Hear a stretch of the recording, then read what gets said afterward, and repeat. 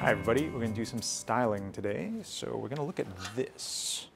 This is a new piece for Spring Summer 23. Very excited for it to be in. Um, this is a Model 12 sport coat made in Zegna cloth. Um, this particular type of Zegna cloth is actually called the cross ply. So it's a wool linen silk mix and it's got a beautiful twill to it. It's a really unusual color. It's like sea foam, but really like tending towards um, navy well, sorry, towards blue.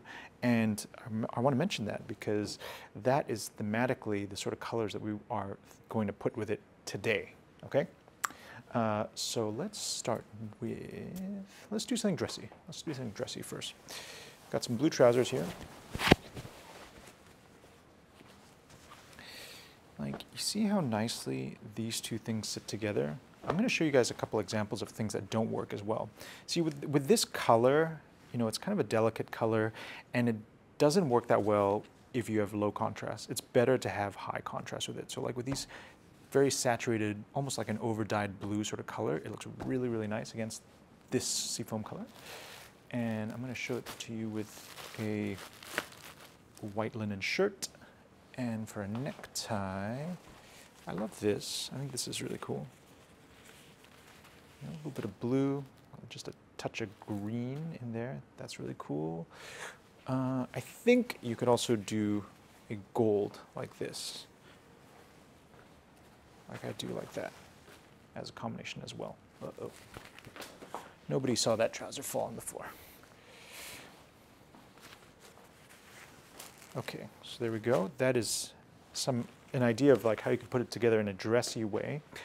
Um, if you're going to stay in that dressy realm, it is that blue is actually substitutable with gray wool trousers as well. I think that's also a very nice way to put it together.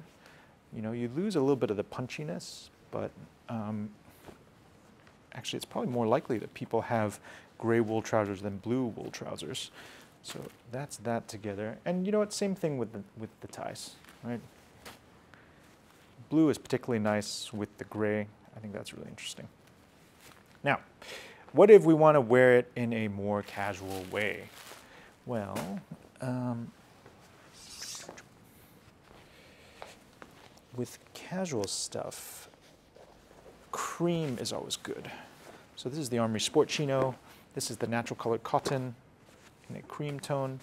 I love that together, and if I was to do that, I would probably put a navy polo with that as well. Because like I said, this color looks best with more blue. You know, I think that pops in just the right way. In terms of shoes for this, uh, I think just adding a little bit of brown suede down there helps a lot, a lot, a lot. Uh, in terms of colors that I wouldn't necessarily put with this, because I think also it's good to see sometimes things that look a bit odd. Uh, I really don't like it with this. I normally love olive. But as you can see, when you put this olive with this green, it really doesn't look quite right. You know, this olive has quite a lot of yellow to it, and it just sits really uncomfortably with this particular shade of seafoam. Also, I am not crazy about mid-grays for tops. I find this whole thing very strange. These two go together okay, but this is really begging for like a navy coat, whereas like against the seafoam, it's a bit strange. Um, just to wrap up, I wanted to show I wanted to show a few little interesting details on this on this jacket actually. Um, first is this is the first season that we have made our own lining. So we actually did this lining way back in the day um, for the 10th anniversary of the Armoury. So it's got a little Armoury line on the lining. And I know this is really minor, but for me, I'm like kind of proud of it. I think it's cool. Um, you know, we finally got to a size where we can have our own linings. And so it's Armoury line and then a little ring in, as our as a representation of our friends at Ring Jacket, who made the jacket for us. Uh, other neat stuff. This is a Model 12, and I should have mentioned this earlier. The whole point of the Model 12 is it's kind of casual, it's kind of sporty, it's got a lot of machine stitch details. So stuff like the machine stitch on the lapels, on the pockets. The pockets are also a really interesting shape. So they're wider than they are tall and kind of tulip shaped, which I really, really like. And on the Model 12, it's a one-piece back.